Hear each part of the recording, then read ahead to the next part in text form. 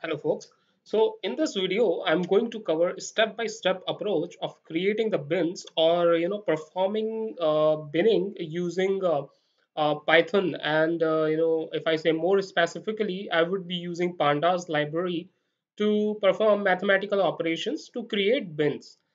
Uh, this is an extension of uh, previous video where I explained the concept in detail, the concept of binning or discretization in detail. And in this video, I'm going to show you the implementation details of it. Okay. And by creating uh, uh the bins, you can create uh, increase the efficiency of your machine learning model. So keep on watching uh, till the end of end of the video to get the details on this of this particular step. just like we did in you know one hot encoding related video.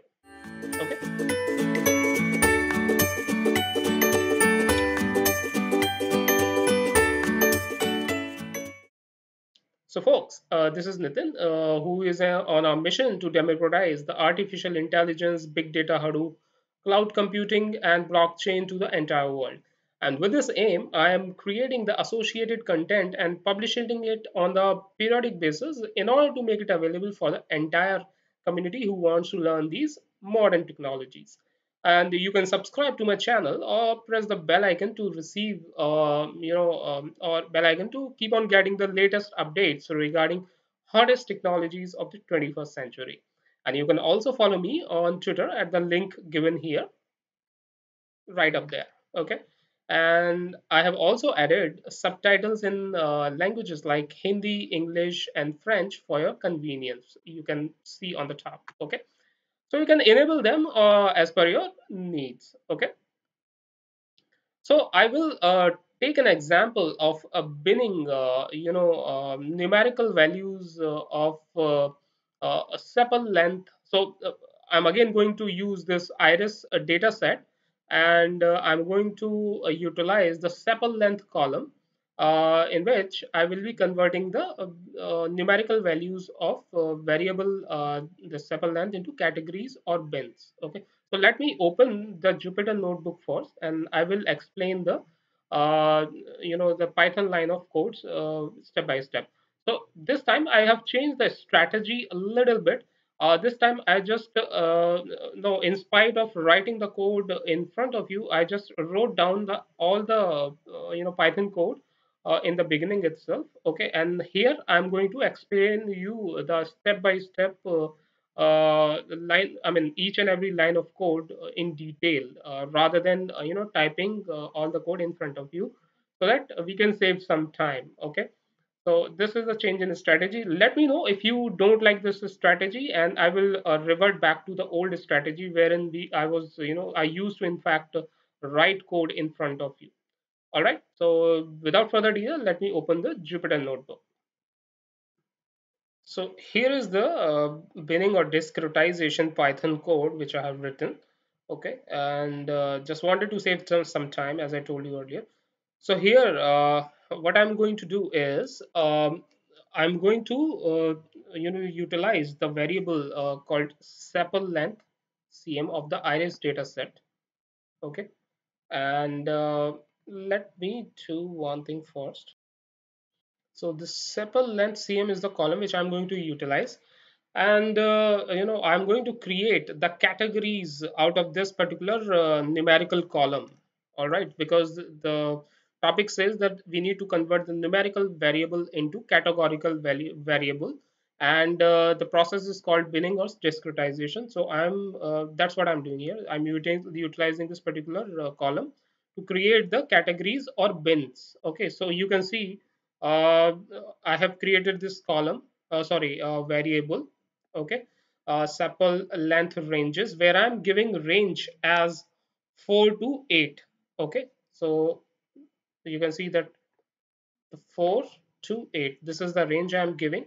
Here uh, in this code you can see that th this is nothing but uh, the parameter uh, it, it's just a format which is going to hold the values of uh, parameters we are going to utilize in this code. So sepal length in ranges 4 to 8. Okay.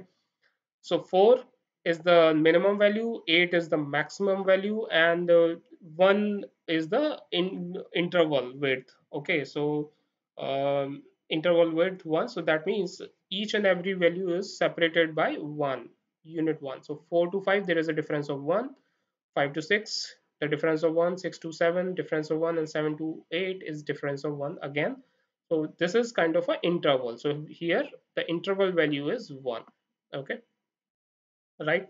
So that's what i'm doing here. Uh, you can see the code here as uh, you know uh, in in the output. In fact uh, when i ran this uh, particular or try to see the value of this particular variable you can see the uh, bins created. There were there are four bins which are created here okay? 4 to 5 5 to 6 6 to 7 and 7 to 8 all right?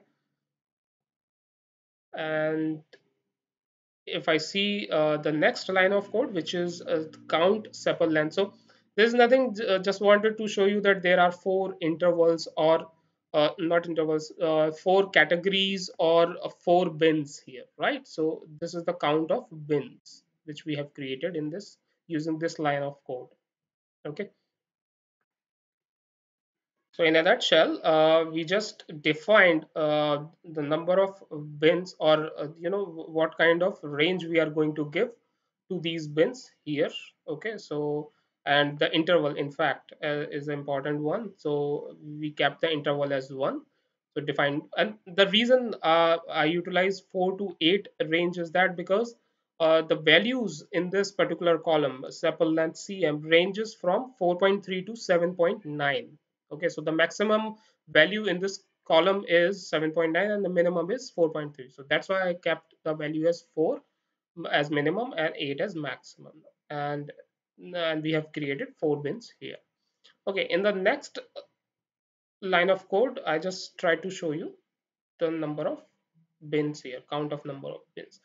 Now in this particular line of code what i'm doing here is uh, i'm just trying to uh, utilize the cut method of pandas uh, you know pandas data frame.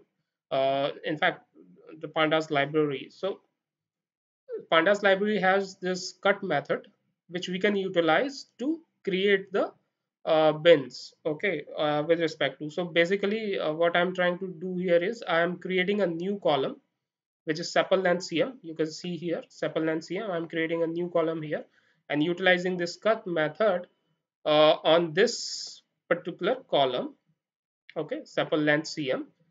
Now the bins is the number of the bins how many i mentioned four right? So count sepal length ranges is depicting this bins uh, parameter right?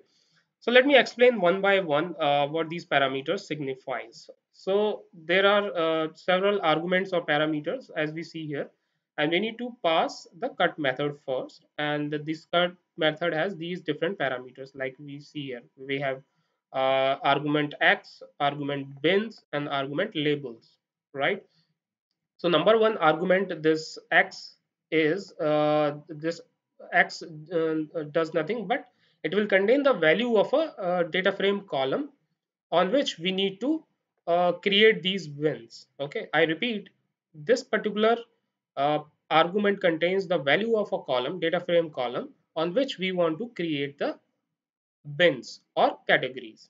Okay, the second argument is uh, bins, and we are passing number of bins we want to create, and the uh, and this variable count sepal length ranges represent that value, which is four. Okay.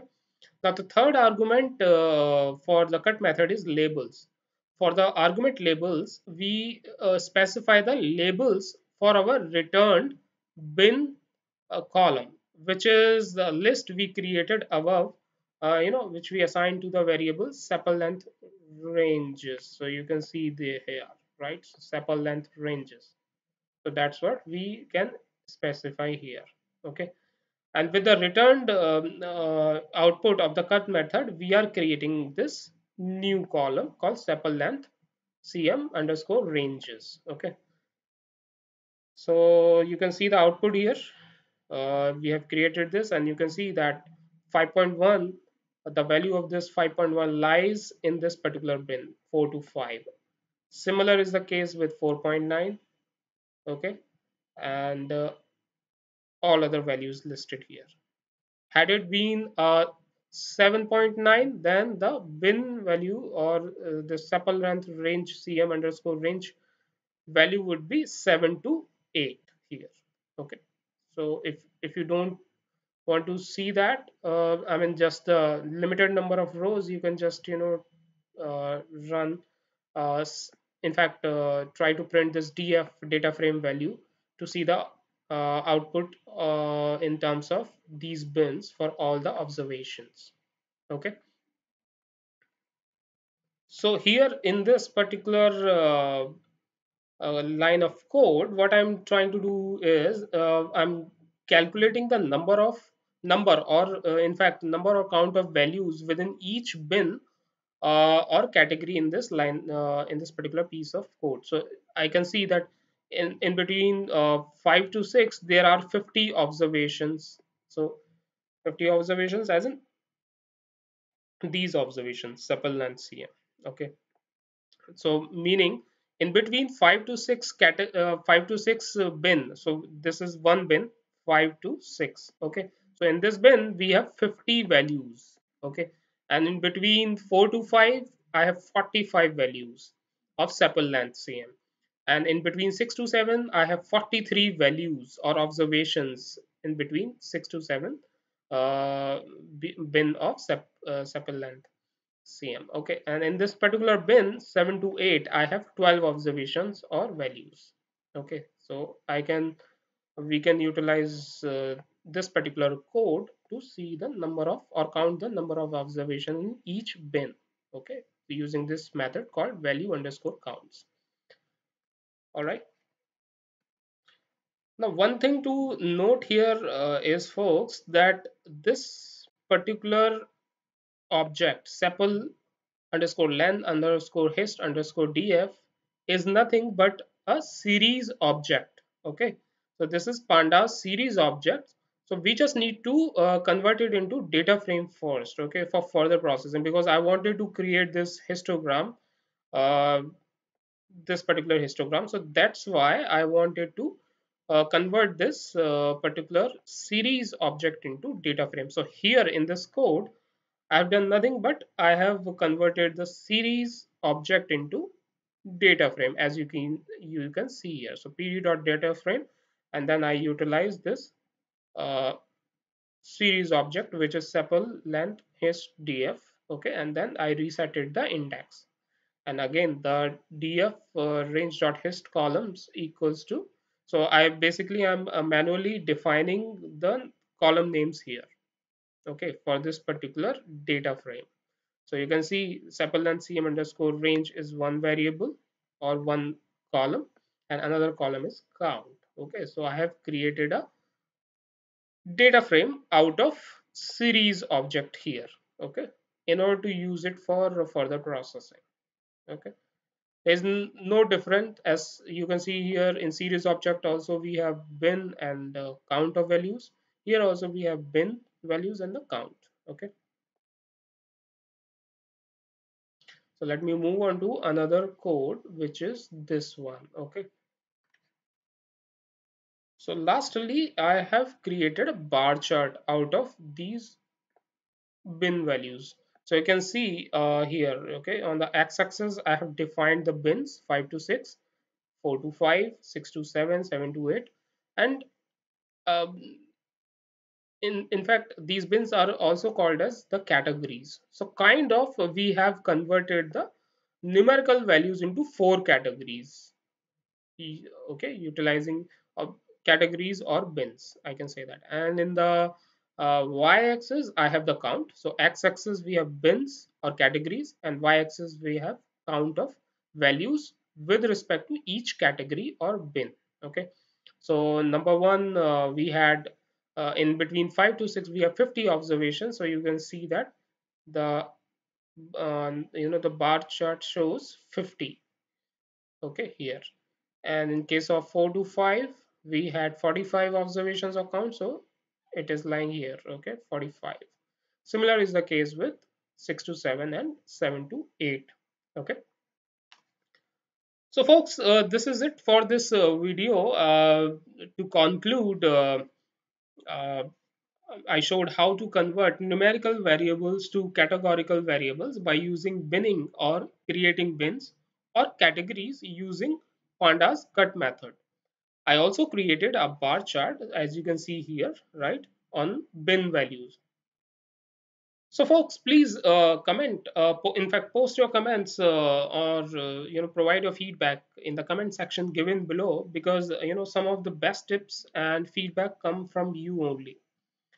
Okay, uh, so if you're watching this video and you're not already a subscriber to our channel, consider clicking that little subscribe button. And in case you have already subscribed, then click on bell icon to receive the notifications whenever uh, whenever I will release new video.